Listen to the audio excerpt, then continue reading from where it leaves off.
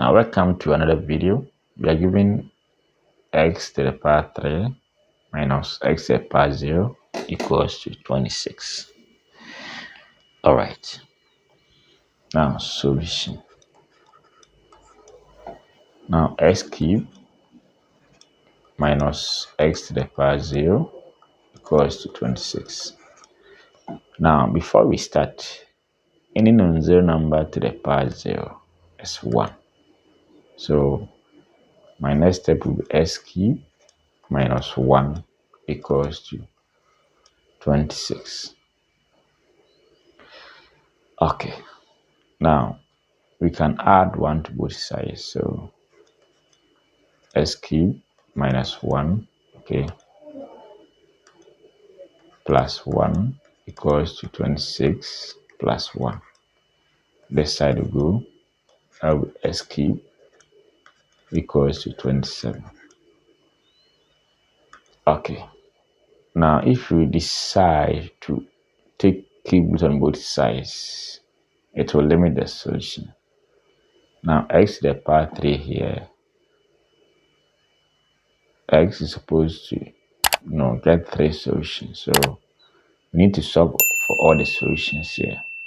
So, from here, I can say that s cubed minus 27 is equal to 0.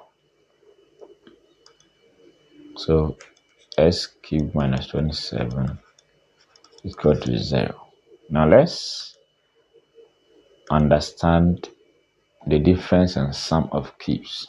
Now when we have s cubed plus a cube the same as x plus a then we have x squared minus ax plus a squared. So this one is called sum of cubes. Now when we have s cube minus a cube, so we have difference. So would x minus a.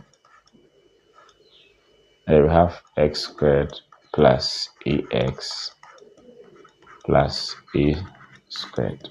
This one is difference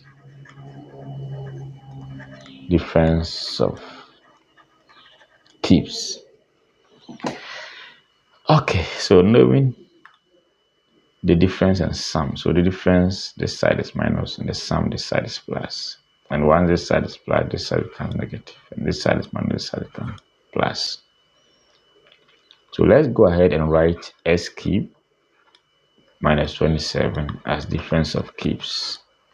So s cube minus, so we have 3 to the power 3. And it will be x minus 3. Then we have x squared plus the product of 2, 3x plus 3 squared, that is 9, equal to 0. Now with the z product, x minus 3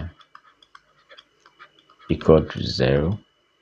And then we have x squared plus 3x plus 9 equal to 0. So the first solution, x minus 3 is equal to 0. x equals to 3. So we need to find the other two solutions. So x squared x squared plus 3x plus 9 equal to 0. Now let's compare this one with the general quadratic equation ax squared plus bx plus c equal to 0.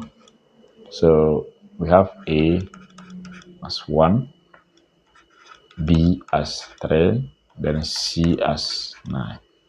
So with this, we can go ahead with the almighty formula. b squared minus 4ac on 2a. Okay, so this side will be minus 3 plus or minus. So we have b squared, that is 3 squared, 9 minus 4 times 1 times 9 on 2 times 1. That will be minus 3 plus or minus. So we have 9 minus 36 on 2. So that would be so x equals to minus 3 minus 3 plus or minus so 9 that will be minus 27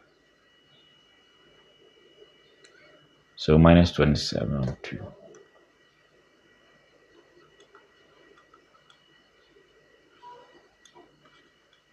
okay. Now because of the negative okay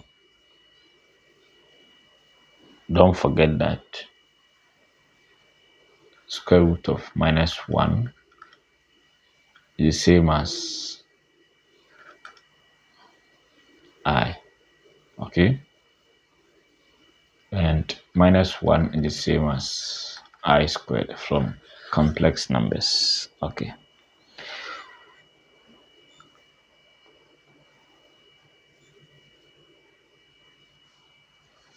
Now from here you can write this one as minus 3 plus or minus